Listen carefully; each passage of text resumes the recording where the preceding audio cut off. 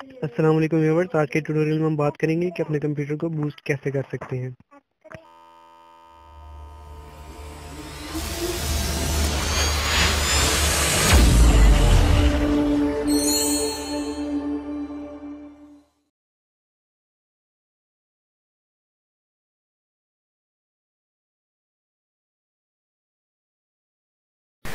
तो पहले हम उन रीज़न्स की बात करेंगे जिनकी वजह से कंप्यूटर स्लो होता है।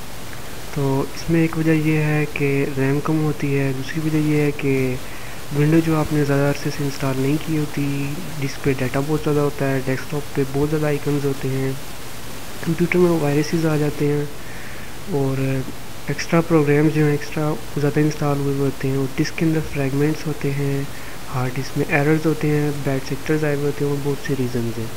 तो हम इनके अब सॉल्यूशंस की बात करेंगे कि हम इन प्रॉब्लम्स को कैसे सॉल्व कर सकते हैं और कंप्यूटर को फास्ट कैसे बना सकते हैं। पहला तरीका है कि डिस्क को क्लीन अप करें माई कंप्यूटर को ओपन करें सी ड्राइव के राइट क्लिक करके प्रॉपर्टीज़ में जाएँ और यहाँ से आप डिस्क को क्लीन अप कर सकते हैं। ये कुछ सेकंड लगाएगा और ये डेली बेसिस पे आपको करना चाहिए। क्योंकि इस, अगर आप ये नहीं करते तो बहुत ज़्यादा एक्स्ट्रा फाइल्स जो हैं वो आपकी डिस्क पे बन जाती हैं, जो कंप्यूटर को स्लो करती हैं और सी ड्राइव को फुल कर देती हैं। तो ये बेस्ट ट्रिक है जो आपको करना चाहिए डेली और ये जो फाइल्स अभी आपने देखी हैं फोर ज़ीरो फोर एम की थी तो ये वेस्ट जो था डाटा था, ये पाँच छः जी तक भी चला जाता है। आपको चाहिए कि इसे डेली बेसिस पे क्लीन करें, नहीं तो ये डाटा जो है वो बहुत ज़्यादा हो जाएगा। वेस्ट डाटा और आपके कंप्यूटर को स्लो करेगा। थोड़ा टाइम लगाता है। यहाँ से आप इनको चेक इन करेंगे सबको। और ओके कर लें। बिल्कुल भी इसमें घबराने वाली बात कोई नहीं है कि आपकी कोई इंपॉर्टेंट फ़ाइल डिलीट हो जाएगी या कुछ तो ये बिल्कुल भी हार्मफुल नहीं आप डिलीट पे क्लिक करें तो फ़ाइल डिलीट हो जाएँगी। थोड़ा सा वक्त इसमें और लेगा ये जितनी ज़्यादा फाइल्स होंगी उतना ज़्यादा वक्त। अब वो चला गया है। चलें अब नेक्स्ट को देखते हैं।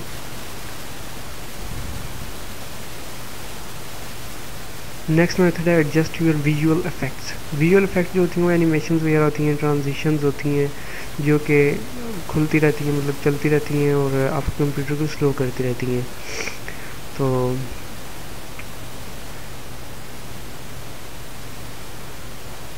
अभी मैंने माई कंप्यूटर ओपन किया तो ये बड़े स्टाइल से ओपन हुआ था और स्टाइल से बंद हुआ इसे ट्रांजिशन कहते हैं। ये ट्रांजिशन जो है, आप कंप्यूटर को अच्छा तो करके शो करती हैं इफेक्ट्स अच्छे लगते हैं, लेकिन स्पीड को स्लो कर देती हैं। अब इसको हम एडजस्ट करेंगे। राइट क्लिक करें माई कंप्यूटर की प्रॉपर्टीज़ में। Go to advance system settings में जाएँ आप। यहाँ से आप एडवांस के टैब में सेटिंग में जाएँ। यहाँ पे बहुत सी चीज़ें हैं जो आपके कंप्यूटर को स्लो बनाती हैं और इन सब के जो हैं वो नेम्स यहाँ लिखे हुए हैं और आप, इन पे आपने सबने चेक इन किया हुआ है। इसने आपको, आपने इसको बेस्ट परफॉर्मेंस के लिए एडजस्ट कर दिया है और जितने भी टिक हुए हुए थे वो सब ख़त्म हो गए। अभी आपने ओके पे क्लिक नहीं करना अप्लाई पे क्लिक करना, उसकी वजह ये है, वजह ये है कि जो आपके जो फ़ोटोज़ होते हैं उनका थंबनेल ख़त्म हो चुका है, जो कि बहुत ज़रूरी है। थंबनेल ना हो तो तस्वीर की समझ नहीं आती। डेप देखें बैकग्राउंड पे वो उसका थंबनेल नहीं है। तो थंबनेल को हम दोबारा चेकिंग कर लेते हैं ताकि थंबनेल रहे हमारे पास, क्योंकि ये काम की चीज़ है। इसको दोबारा टिक कर दें। ये ओके कर दें। और अब आपको स्पीड्स का पता चलेगा।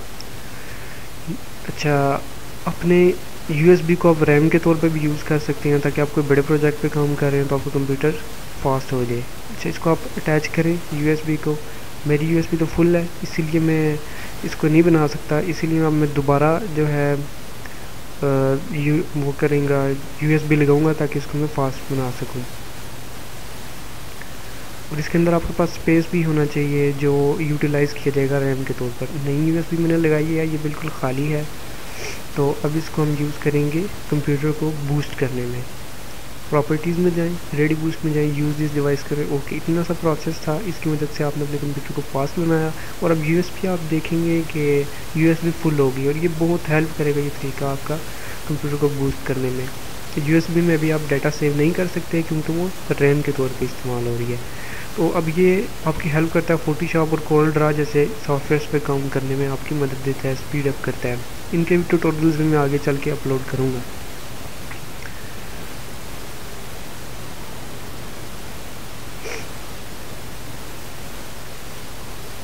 अच्छा एक और मेथड है कि एक्स्ट्रा प्रोग्राम्स को आप इंस्टॉल करें।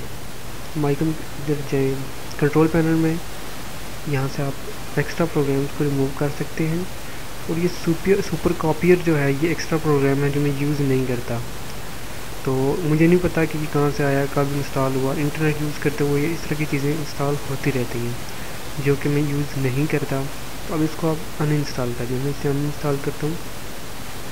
एक अनइंस्टॉल कर दिया।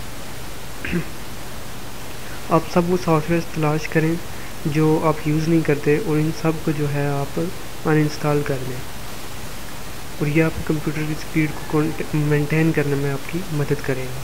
पांचवा तरीका है डिलीट प्री फैच फाइल्स अगर आप कोई single software long term use करते रहते हैं तो कंप्यूटर उसकी फाइल्स को जो है फैच कर लेता है, ताकि नेक्स्ट टाइम जो है सॉफ्टवेयर को यूज़ करने में बार बार फाइल्स फैच ना करनी पड़े और आपका जो है सॉफ्टवेयर स्पीड से काम करे। लेकिन ये बाकी सॉफ्टवेयर को स्लो कर देती है। विंडो प्लस आर प्रेस करें प्री फैच टाइप करें। प्री फैच फाइल्स को हम डिलीट करेंगे ताकि हमारे कंप्यूटर की स्पीड इंक्रीज हो जाए। ये भी वेस्ट फाइल्स ही होती हैं, इनको डिलीट करने से कोई फ़र्क नहीं पड़ता। प्री फैच लिखें ओके करेंगे, सारी फाइल्स आ गई तीन सौ पंद्रह फाइल्स हैं जो बिल्कुल हम हम इस्तेमाल नहीं करते एक्स्ट्रा पड़ी हुई हैं और ये डिस्क स्पेस जो है वो ज़ाया कर रही है। सबको डिलीट कर दें control plus A plus press करें। ये बिल्कुल भी आपके कंप्यूटर को नुकसान नहीं पहुंचाएँगी, कोई आपकी काम की फ़ाइल डिलीट नहीं होगी। सबको सिलेक्ट करें। कंट्रोल प्लस ए प्रेस करके। और डिलीट कर दें। ये डिलीट हो गया।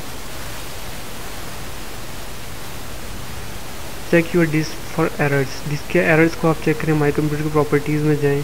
सी ड्राइव की प्रॉपर्टीज़ में और यहाँ से आप चेक डिस्क करें। ये खुद ही स्कैन करेगा, खुद ही एरर्स को फाइंड करके एरर्स को किल कर देगा।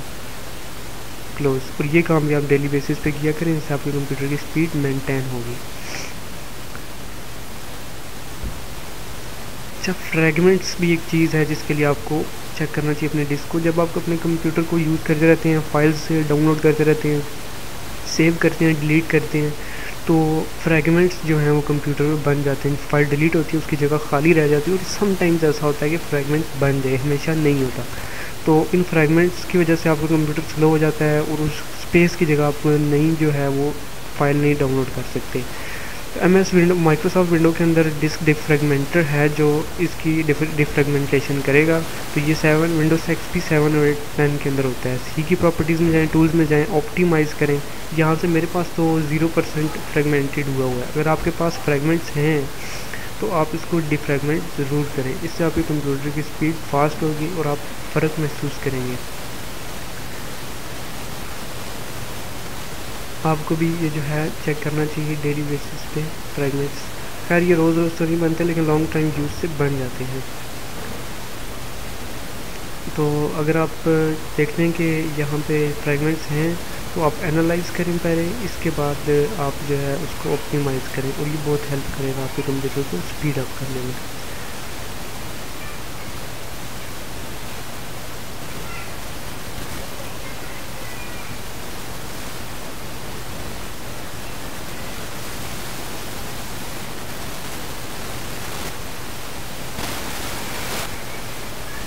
ऐप डाटा को आप क्लीन करेंगे भी आपके कंप्यूटर की स्पीड जो है वो बिल्ड करेगा।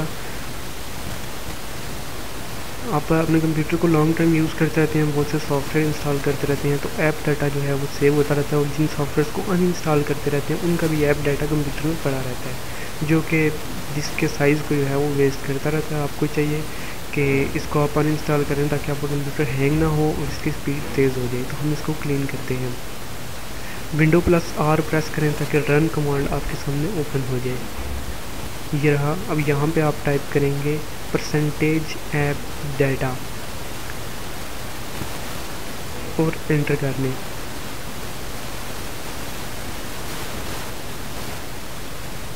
ये आपके पास ऐप्स आ गई हैं। अच्छा ये ऐप डाटा जो है आपने हमेशा नहीं क्लियर करना। ये उन फाइल्स का आपने क्लियर करना है जिनका आप डिलीट कर चुके हैं। इनको ज़्यादा छेड़ने की ज़रूरत नहीं है क्योंकि आपके जो सॉफ्टवेयर हैं वो रीसेट हो जाएँगे। अनइंस्टॉल तो नहीं होंगे, लेकिन रीसेट हो जाएँगे सॉफ्टवेयर सबकी सेटिंग जो है वो रीसेट हो जाएगी। इसलिए आप उसको डेली बेस पे ना करें। अलबत्त जो सॉफ्टवेयर आपने डिलीट किया हुआ है, उसको डिलीट करें। और खैर इसे छोड़ें। डिसेबल स्टार्टअप प्रोग्राम जब आप कंप्यूटर को ऑन करते हैं तो बहुत से सॉफ्टवेयर खुद ब खुद ऑन हो जाते हैं। वो उसी वक्त वर्किंग स्टार्ट कर देते हैं, जो कि आपके सामने नहीं आते विंडो प्लस आर का बटन प्रेस करें, ताकि रन कमांड है यहाँ पे आप लिखें M S config okay, press करें। यह आ गया आपके पास, इसमें से आप जाएँ। स्टार्टअप के ऑप्शन के अंदर आप जाएँगे। ये विंडो 8 के अंदर भी वर्क करेगा, विंडो 10 के अंदर भी ये मेथड काम करेगा। स्टार्टअप पे जाएँगे। ये टास्क मैनेजर से ओपन होगा तो हम टास्क मैनेजर को डायरेक्टली ओपन कर देते हैं। टास्क मैनेजर ओपन किया। अब यहाँ पे अगर कुछ सॉफ्टवेयर आप देखते हैं कि फजूल में स्टार्टअप पे चल पड़ता है तो उसको आप बंद कर दें। ये सारे सॉफ्टवेयर जो हैं वो स्टार्टअप से ऑन हो जाते हैं। अच्छा इसमें आपने सब के सब सॉफ्टवेयर को डिसेबल नहीं करना, नहीं तो विंडो की फाइल्स भी इसमें होती हैं। विंडो के सॉफ्टवेयर भी जो ज़रूरी होते हैं विंडो को रन करने में, वो भी डिसेबल हो जाएँगे और आपकी विंडो नहीं चलेगी। इसीलिए आप उन सॉफ्टवेयर को डिसेबल करें जो आपको पता है कि मैं इस सॉफ्टवेयर का मुझे मालूम है कि ये सॉफ्टवेयर किस पर्पज़ के लिए यूज़ होता है और इसको बंद करने से कोई नुकसान नहीं होगा। ये मैं भी एक दो को डिसेबल कर रहा हूँ और बाकियों को रहने दूँगा। ताकि कंप्यूटर पे कोई इफ़ेक्ट जो है वो हार्मफुल इफ़ेक्ट ना पड़े।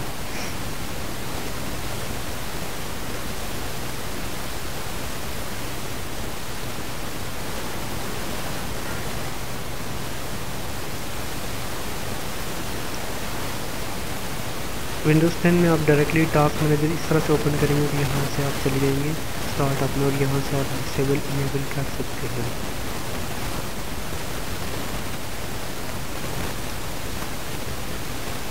अब एक सीक्रेट चीज़ है जो आपके कंप्यूटर को बहुत ही जो है फास्ट करने में मदद करेगी और ये सीक्रेट मेथड है। विंडो प्लस आर प्रेस करें रीसेंट टाइप करें और इसके अंदर चले जाएँ। ये सब वो फाइल्स हैं जो मैं पिछले दिनों में यूज़ करता रहूँ, ये फोल्डर में ओपन करता रहूँ और ये एक सीक्रेट चीज़ होती है, दूसरा यूज़र चेक कर सकते हैं कि आप क्या क्या ओपन कर सकते हैं, करते रहे हैं। क्या क्या आपने वीडियो देखी है कौन से फोल्डर ओपन किया तो इसको रीसेट इसको क्लियर करना बहुत ज़रूरी होता है। एक और या दो के बी की फाइल्स होती हैं और इनको डिलीट करने से कोई फ़र्क नहीं पड़ता। फ़ाइल नहीं डिलीट होगी, उसके लॉग्स डिलीट होंगे। आप इसको डिलीट कर लें विंडो अपडेट को आप टर्न ऑफ़ कर लें कंट्रोल पैनल को ओपन करें। अब यहाँ पे इसको ढूँढने की ज़रूरत नहीं है, कहाँ विंडो अपडेट का ऑप्शन और कहाँ इतना ज़्यादा ऑप्शन यहाँ पे आप सर्च करें डायरेक्टली अपडेट्स यहाँ से टर्न ऑफ़ विंडोज़ अपडेट्स पे आप डायरेक्टली जा सकते हैं। मैं क्लिक करूँगा। नेवर चेक फॉर अपडेट्स मैंने जो है सिलेक्ट किया हुआ है। नेवर चेक फॉर अपडेट्स आपको सेलेक्ट करना चाहिए। ये आपके कंप्यूटर को बहुत ज़्यादा हेल्प करता है बूस्ट करने में और बहुत हेल्प करता है। जिससे वक्त ये इनेबल हुई हुई होती है तो आपका कंप्यूटर बहुत ज़्यादा हैंग हो जाता है और आपको समझ नहीं आती कि क्या मसला है, क्यों हैंग हो रहा है। इंटरनेट भी स्लो हो जाता है, आप परेशान हो जाते हैं कि रैम भी ठीक ठाक लगी हुई है फिर भी ये स्लो है। तो ये बहुत ही एक जो है ट्रिक है ट्रिकी मेथड है कि कंप्यूटर की स्पीड को जो आप मेनटेन करें। इसकी वजह से आपकी सी ड्राइव भी फुल हो जाती है और भी प्रॉब्लम्स होने लग जाती हैं। इंटरनेट बहुत स्लो हो जाता है। तो अब हम बात करेंगे डिलीट विंडोज़ अपडेट्स जो अपडेट्स पहले से हुई हुई हैं ऑटोमेटिक हो जाती है, इनको आप डिलीट करें। वहीं पे ऑप्शन है डिलीट में अपडेट के साथ ही है। कई दफ़ा हंड्रेड अपडेट्स हो जाती हैं हंड्रेड से भी ज़्यादा हो जाती हैं और आपका स्पेस जो है वो ज़्यादा कर जाती है इनको आप इंस्टॉल कर दिया करें। अब next method reset your Windows अपनी विंडो को जो है रीसेट करें। अगर आपने ज़्यादा अरसे से विंडो को जो है इंस्टॉल नहीं किया हुआ, और आप चाहते हैं कि विंडो री इंस्टॉल करूँ तो रीसेट करने री इंस्टॉल करने से बेहतर है कि रीसेट करने इससे आपका टाइम भी बचेगा और ज़्यादा देर भी नहीं लगेगी। विंडोज़ 8 में ये काम करेगा और विंडोज़ 8 से हायर वर्जन में, इससे नीचे के वर्जन में मेथड काम नहीं करेगा। तो ये बहुत ही अच्छा मेथड है कि विंडो इंस्टॉल करने से बेहतर अगर आप इसको रीसेट करें। सर्च में जाए रीसेट टाइप करें। ये आपके पास ऑप्शन आ गया remove everything and reinstall Windows get started करेंगे तो ये वर्किंग स्टार्ट हो जाएगी और आपकी विंडोज़ रीसेट बल्कि मैं इसको कैंसिल कर देता हूँ। क्योंकि इसके अभी मैं आपको सारा प्रोसेस बहुत लंबा है, वो दिखाने की ज़रूरत नहीं है। रिफ्रेश अपने कंप्यूटर को करें, ये भी एक ट्रिक है कि अपने कंप्यूटर को फास्ट बनाएँ और इससे आपके जो सॉफ्टवेयर इंस्टॉल हुए हुए हैं, वो डिलीट नहीं होंगे, सिर्फ़ कंप्यूटर जो है वो रिफ्रेश हो जाएगा। और ये भी एक अच्छा मेथड है अपने कंप्यूटर को जो है स्पीड को मेनटेन रखने के लिए। आप ये वहीं पर जाएँगे सेटिंग्स में विंडो प्रेस करें, यहाँ पर आप टाइप करें रीसेट तो रीसेट के ऊपर ही आ गया रिफ्रेश गेट स्टार्टेड करेंगे कंप्यूटर रिफ्रेश होना स्टार्ट हो जाएगा। तो ये थे हमारे मेथड कंप्यूटर को बूस्ट करने के मज़ीद ट्रिक्स के लिए हमारे चैनल को सब्सक्राइब करें और एंड्रॉयड ट्रिक्स के लिए आप हमारे चैनल को लाइक सब्सक्राइब करें। W W dot YouTube dot com slash the Android गाइडी के ये हमारा एंड्रॉयड ट्रिक्स के लिए चैनल है और एक आपके लिए टिप है कि आप जो है विंडोज़ 8 या हायर वर्जन यूज़ करें ताकि आपके कंप्यूटर की स्पीड जो है वो सही रहे। अब विंडो एट का ही दौर है इससे ऊपर का आप यूज़ करें तो बेहतर रहेगा। मज़ीद ट्रिक्स के लिए हमारा चैनल सब्सक्राइब करें। तब तक नेक्स्ट वीक आपके लिए मैं बहुत जल्द रहूँगा। तब तक के लिए अल्लाह हाफिज़।